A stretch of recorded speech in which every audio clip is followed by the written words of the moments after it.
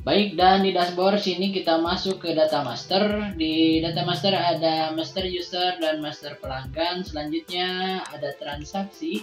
Di mana transaksi sini ada buku tamu ya. Nah, ini buku tamunya. Terus juga di sini ada keluhan pelanggan, ada identifikasi kebutuhan pelanggan. Terus juga selanjutnya di sini ada laporan ya, menu laporan.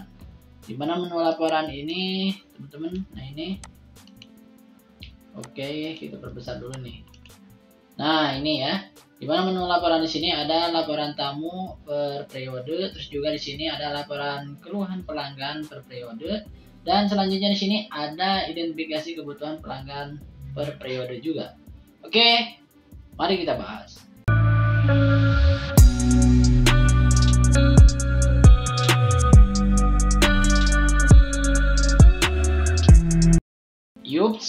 Dan di pertemuan kali ini kita akan membahas tentang aplikasi sistem informasi pengelolaan buku tamu.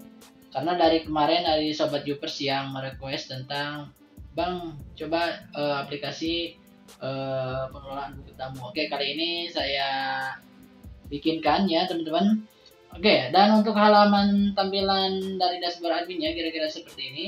Nanti sebelum kita menginstalkan di sini, jadi ada beberapa hal yang perlu teman-teman perhatikan.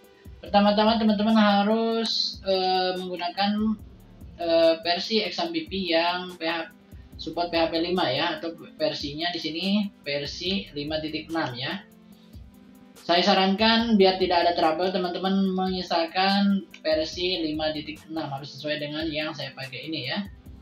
Nanti bisa dicek nanti ya e, XMPP teman-temannya. Kalau misalkan XMPP teman-teman versi 7 atau versi 8 itu silahkan di downgrade dulu ke versi exam ini. Karena nanti akan terjadi error kalau misalkan di convert ke apa PHP 7 terkecuali kalau nanti teman-temannya bisa mengubah e, mau merombak dari e, codingannya. Itu kan harus dirombak dari MySQL. Jadi MySQLi nanti di programnya ya.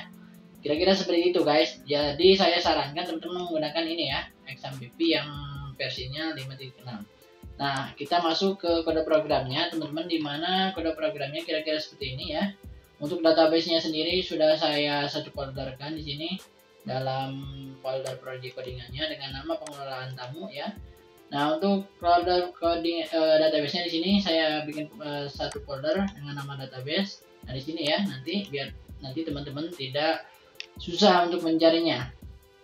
Tapi teman-teman di sini harus perhatikan karena ada beberapa settingan nantinya yang perlu teman perhatikan agar tidak terjadi error dan trouble ya. Dan untuk poin-poin atau kode programnya kira-kira seperti ini teman-teman ya. Kita langsung saja uh, kembali lagi ke websitenya. Oke. Okay. Nah di sini uh, untuk level usernya ada dua level user yaitu sebagai administrator dan sebagai tamu ya. Nanti kita akan bahas bagaimana level admin dan level user itu kegunaan dan aksesnya apa saja. Oke, kita bahas. Oke, di sini kita bahas dulu dari level admin ya, teman-teman. Di mana nanti untuk mengakses level admin, jadi teman-teman untuk e, memanggilnya, nanti cukup ketikkan saja localhost. Nah, di browsernya nih ini ya. Ketikkan localhost, lalu slash pengelolaan tamu, nama folder project codingan, lalu slash admin. Harus dipakai slash admin ya. Nah, di sini contoh saya akan logo terlebih dahulu. Baik teman-teman, nah nanti uh, tampilannya akan seperti ini ya jika teman-teman uh, mengakses ke login admin. Karena ada dua level user, nanti kalau misalkan buku tamu saja, nah ini teman-teman, ini akan loginnya sebagai user nanti ini loginnya sebagai user ya. Nanti bisa daftar juga di sini nanti untuk isi user dan kalau misalkan untuk ke adminnya, jadi teman-teman tinggal tambah di sini slash admin. Oke. Nah, ini untuk pemlogin adminnya. Oke, di sini kita akan login dulu terlebih dahulu teman-teman untuk akses sebagai administrator ya. Untuk username dan passwordnya saya set di sini agar mempermudah dengan admin-admin ini, teman-teman ya. Adminnya harus kerja semua, kita login. Oke, kita tunggu dulu. Baik, sekarang kita sudah login ke halaman dashboard adminnya, di mana di sini kita akan bahas untuk tampilan pertama di dashboard admin. Di sini ada grafik tamu nih ini baru ada tujuh tamu nantinya ya terus juga di sini grafik ke apa keluhan pelanggan baru ada 10 ya nanti detailnya ini bakal dibahas juga di fiturnya di menu-menunya di sini Nah, terus yang selanjutnya di sini ada grafik identifikasi kebutuhan pelanggan. Nah, ini ya baru ada 11 yang sudah diinputkan. Selanjutnya di bawah di sini ada diagram batang jumlah tamu, di sini jumlah tamu ya, ini untuk diagram batangnya. Oke. Eh, selanjutnya kita akan bahas dari fitur-fitur dan menu-menunya apa saja yang ada dalam sistem eh, pengelolaan buku tamu ini. Di mana kita masuk dulu ke data master nih. Di data master di sini ada master pelanggan dan uh, master user dan master pelanggan ya. Nanti ini ada dua komponen level user sebagai uh, administrator dan pelanggan. Oke, kita masuk di master user nih. Nah, ini untuk master user. Oke, teman-teman di sini uh, untuk tabelnya sendiri ini sebagai user nanti bisa kita tambahkan ya si usernya nanti sebagai admin ataupun sebagai apa pelanggan nantinya Nah untuk tabelnya di sini ada username, nama, hak akses, edit di sini terus juga hapus. Nah di sini ada baru dua level user yang sudah saya inputkan teman-teman di mana yang pertama admin, yang kedua eh, level pelanggan dengan nama Fatima ya. Nanti kalau misal mau ditambahkan tinggal tambahkan saja teman-teman. Nah di sini tambahkan. Oke nanti kalau mau ditambahkan ini sudah ketambahkan barusannya ini baru kosong kita hapus dulu oke jadi kalau mau menambahkan nah di sini teman-teman nanti tinggal isikan saja username-nya apa ya. Misalkan di sini pelanggan ya. Pelanggan dua misalkan. Nah, ini harus diingat-ingat username-nya untuk login nanti. Terus namanya juga pelanggan passwordnya misalkan pelanggan dua biarkan hak aksesnya di sini sebagai apa nih hak aksesnya? Admin atau apa gitu ya.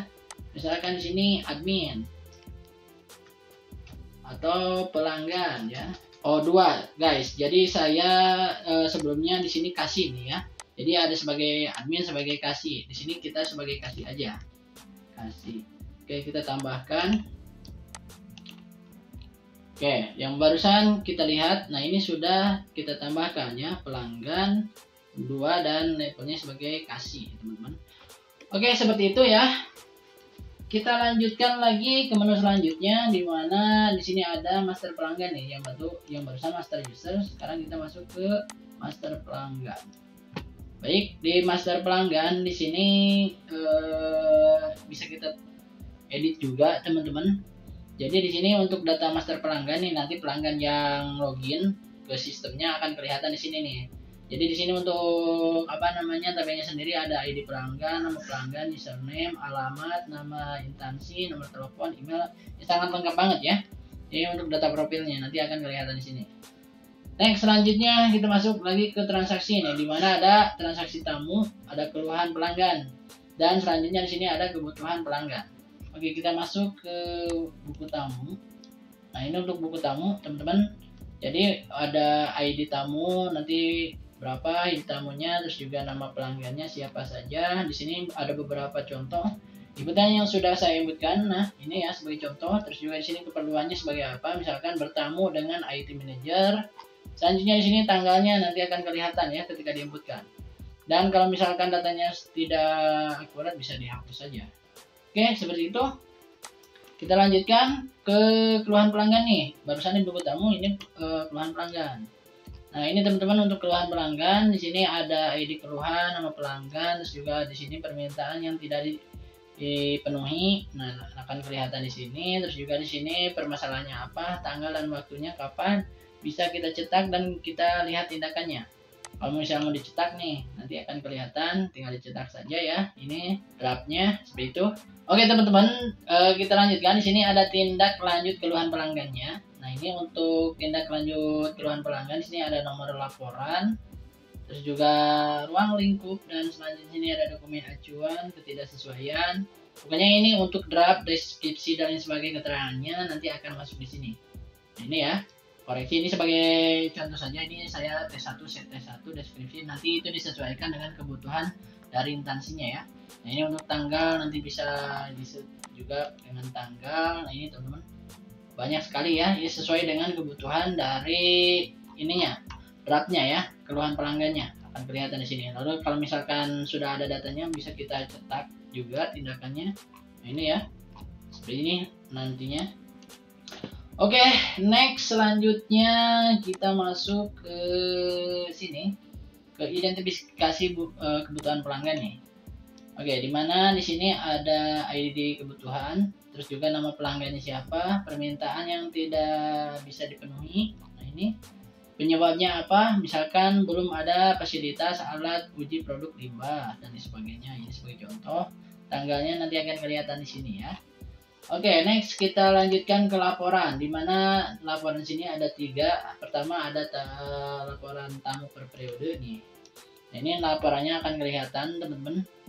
Nah, di sini Januari, Februari, Maret itu nanti akan disesuaikan dengan uh, bulannya ya. Ini dilengkapi juga dengan diagram batang. Oke, lanjutnya di sini keluhan lapor apa keluhan pelanggan nih, laporan keluhan pelanggannya ya. Nah, ini nanti akan kelihatan juga kita sudah apa? Sudah menggunakan diagram batang nanti akan kelihatan ya. Ini warna biru, warna hitam, warna hijau dan lain sebagainya. Oke, next selanjutnya kita masuk ke identifikasi kebutuhan per periode. Nah, ini Nah, ini untuk laporannya ya. Sangat lengkap banget dari laporannya juga sesuai dengan fitur-fitur yang ada dalam aplikasi uh, ini ya. Nah, yang di atas tadi buku tamu, seperti itu, keluhan pelanggan dan sebagainya. Nah, inilah akses dari administrator. Mari kita lihat sekarang masuk ke aksesnya sebagai tamu ya, teman-teman, atau sebagai kasih. Oke, di sini kita akan logout terlebih dahulu. Logout saja. Nah, nanti untuk mengakses sebagai kasih, teman-teman ininya kita hilangkan, slash adminnya kita hilangkan. Nah, tampilannya akan seperti ini. Oke, di sini kita akan masukkan misalkan di sini Bayu ya, Bayu 12. Nah, ini teman-teman misalkan ini username-nya saya set nanti ataupun kalaupun belum punya ID user nanti bisa daftar di sini ya. Nih. Nanti ini tinggal diisi saja seperti itu. Karena di sini saya sudah ada sebagai contoh dan untuk mempercepat untuk username ada Bayu 12 dan password juga Bayu 12 kita login. Oke, kita tunggu. Baik teman-teman, nah inilah akses dari kasih ya. Di mana di sini ada buku tamu, keluhan pelanggan, identifikasi kebutuhannya. Oke, kita lihat di sini di buku tamu. Nah, ini untuk buku tamunya ya. Nama keperluannya apa nanti tinggal submit. Jadi nanti keperluannya buat apa nih? Bla bla bla bla, tinggal submit ya. Terus juga sini keluhan pelanggannya apa nih? Sini kan permintaan yang tidak bisa dipenuhi. Apa, terus juga masalahnya apa, tinggal dikirimkan saja. Terus selanjutnya di sini nih identifikasi uh, kebutuhan pelanggan. Nah kebutuhannya apa sih? Permintaan yang tidak bisa dipenuhi. Apa ya nanti ya seperti itu. Terus juga di sini penyebabnya apa tinggal dikirimkan saja oke kerennya teman-teman lumayan sangat bagus dan sudah proses bisnisnya sudah jalan teman-teman sesuai dengan sistem informasi eh, apa keperluan buku tamu seperti itu. Oke teman-teman dan di pertemuan kali ini saya coba sekian mudah-mudahan bermanfaat walaupun sangat singkat ya tapi aplikasi ini lumayan sudah bagus teman-teman untuk proses bisnisnya sudah jalan semua. Dan silakan bagi teman-teman semua kembangkan lagi agar sistem ini lebih baik dan jika teman-teman ada yang mau request bikin aplikasi apa silahkan komen saja di kolom komentar dan jika ada yang mau tanya-tanya, mau kontak dan sebagainya, ada di bio YouTube kita ya. Oke, sampai jumpa di video berikutnya.